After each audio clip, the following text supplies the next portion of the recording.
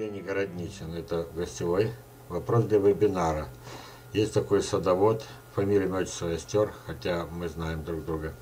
Сейчас он живет в Псковской области и растет там деревья. У него небывалые сроки раннего плодоношения на яблонях. Раннего, я так понимаю, не то что вместо сентября, августа или июль, а ранее, значит, почти это, ну, первый, второй, третий год.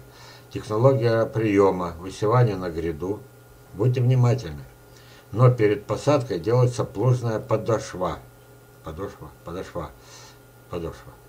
Ох, я неграмотный. Вопрос, знакомы ли вы с таким приемом? Ваше мнение о нем, это значит о садоводе. Ваше мнение по раннему плодоношению семечковых. Не наносит ли ущерб дереву, его развитию, созданию раннего плодоношения?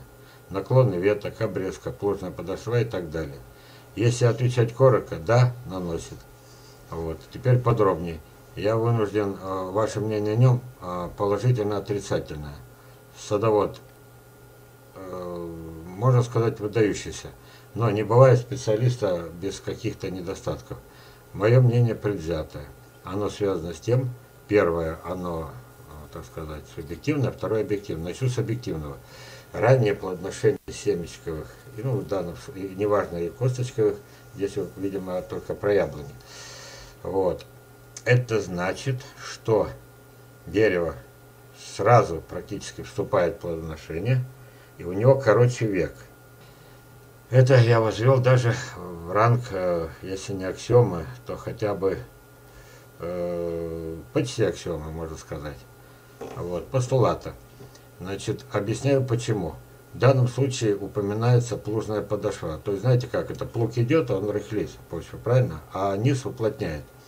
Получается так, что потом, если посадить саженец или посадить семечко, вот, э, корни, а значит и все дерево, попадают в неприятное для них состояние. Вот. В данном случае нет, речь идет не об отрезке центрального корня, а угнетении его развития, упирается в твердую почву. Вот. Это приводит как раз к раннему плодоношению, о чудо, годится только для любознательных, для селекционеров жизнь коротка, надо вырастить много поколений.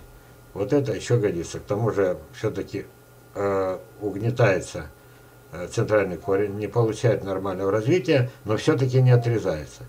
Вот, хотя бы так. Но для нормального садоводства, для нормальных людей, дачников, это должно быть исключено. Поэтому я противник этого в принципе. Кому надо, тот знает, как сделать раннее плодоношение пересадил, получим ранее, то есть пересадил, значит, замечил, вот, обрезку сделал, перевод на плодоношение. Всегда задержка роста, всегда болезненное состояние. Вот мое мнение объективное. Никакого раннего плодоношения для нормального сада. Иначе короткий век.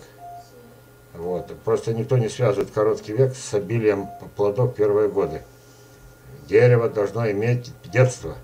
Никакого раннего Чем позже дерево вступит в плодоношение, тем лучше у него был период детства, тем оно нормально вызреет, вырастет. Вот. Подробнее чуть позже. А перед вами фотография, это с моего питомника. Вот. Объясняю, у меня таких, вы видели в фильмах много фото. Что здесь видите? В горшке. Это почти то же самое, что плужная подошва. Вот. Здесь очень неуютно корням стремится быстрее дать урожай. Когда дереву неуютно, оно забывает, что ему надо развиваться. Ему надо дать семечки, потомства. Вот этим пользуются изверги, сада, садисты. Ну хорошо, хоть этот товарищ, это доктор наук, по крайней мере, нет, не калечит корни, а только сдерживал их рост. Вот. Хотя хрен редкий.